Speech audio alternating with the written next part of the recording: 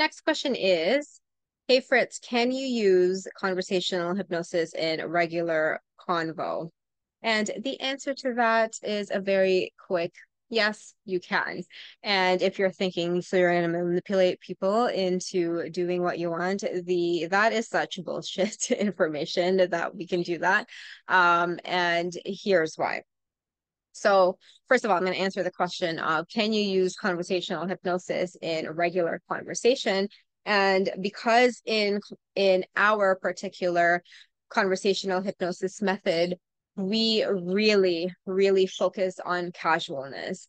When we teach our students this method, we say, okay, have ask your clients a question and have a conversation based on how you would normally talk to your friends and family.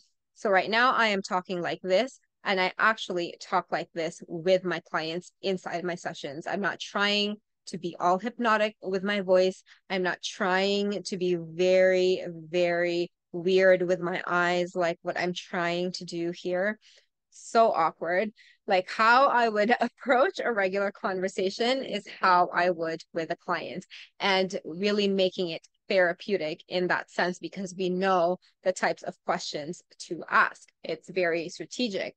But in a nutshell, we are um, being a person who is just a human being having a conversation.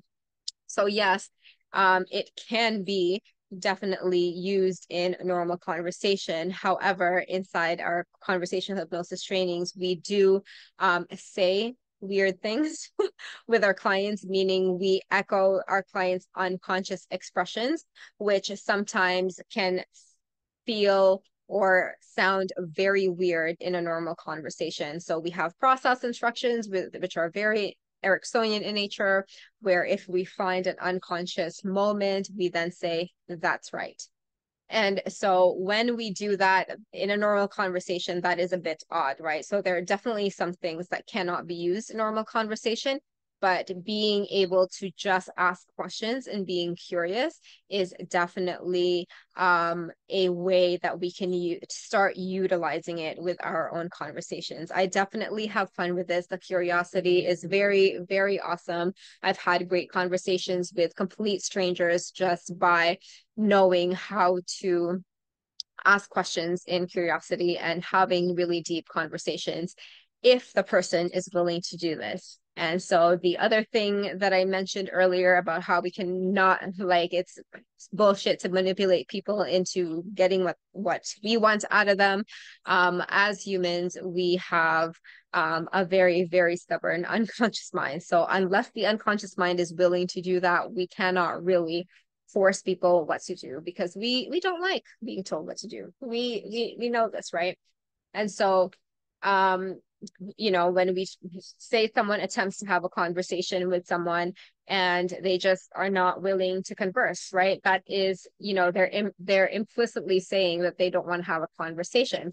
But am I I'm have I'm having a conversation with someone completely new who is um who, and someone who is very open to a conversation and I'm just asking them questions and they're answering the questions and they're enjoying the moment, then that can be a really deep, profound way that we can just connect with others because, you know, we we need we do a lot of us do crave this deep connections, uh, these deep connections these days with others. And so by applying the conversational hypnosis principles of really getting deep, deeply connected with our clients, we can also do that with regular people in our daily lives. And we can really also make an impact this way because we're not trying to manipulate. We're really just having a conversation and someone can withdraw a conversation anytime they want so I hope this made sense and sounds very exciting. That's why I love the conversational me- hypnosis method so much because uh, it's very applicable to daily life and you start becoming the person who is just normally um, hypnotic and normally therapeutic. So I hope this helped. Let me know if you have any questions at all. Otherwise, I will see you soon. Let's make a massive impact together, one conversation at a time.